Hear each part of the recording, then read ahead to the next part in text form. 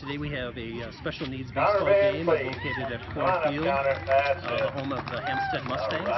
And it's a game to uh, show and give the public a little bit of a glimpse of what a future Miracle League of Dubuque uh, game would be like at our hopefully new location.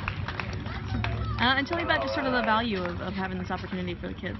Well, the value to the kids is that uh, they experience the game, they're, they stay active, it helps build confidence, self-esteem, and uh, obviously beneficial not only for the kids but also for their families and grandparents. Three or four years ago, we were able to really uh, put a couple guys together. Uh, I don't know if one name's right or not, but, uh, that, that really had the same passion that I had for it. And we've kind of moved along here.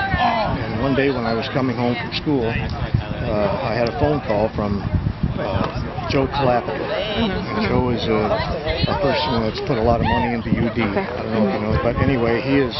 He came on as a big donor for us, and I think this is just one of those things that we tried to do. Uh, uh, to get a field in town where these kids can actually go on out and uh, can have their own facility to uh, and their own games to be, uh, in my opinion, uh, play baseball. We have uh, we have met with the park board, and uh, the park board has unanimously uh, approved our application.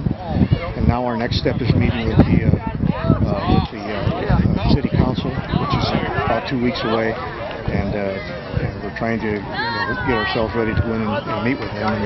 And we, have already met with several of them, but we have a couple we haven't met with. But uh, once we get their approval, then we really get out and, start uh, trying to earn the money it's going to take. We're looking at probably in the area of about three million. Uh, but we are confident that uh, uh, with a lot of you know with a lot of uh, sweat equity uh, that we can we can put the great, together a great field, and we hope it's going to be one of the better ones in the state. Can you see their faces right now? That's what's important. If they throw the ball and nobody catches it, that's important. They did the best they could do. That's the bottom line. We're gonna when we get our park done, we're gonna have a sign there that says, "Let's play together." And I think uh, when you know when the people can come in and do that, uh, that's when it's really neat. So these kids are learning how to interact with one another, and that's what this is all about. And I like the coaches or the the, Must, the Hempstead team and also the, uh, the the Wahlert team because I think they learn too what it's all about. You know that there's something to that there's something that you need to be thankful for if it's just your health.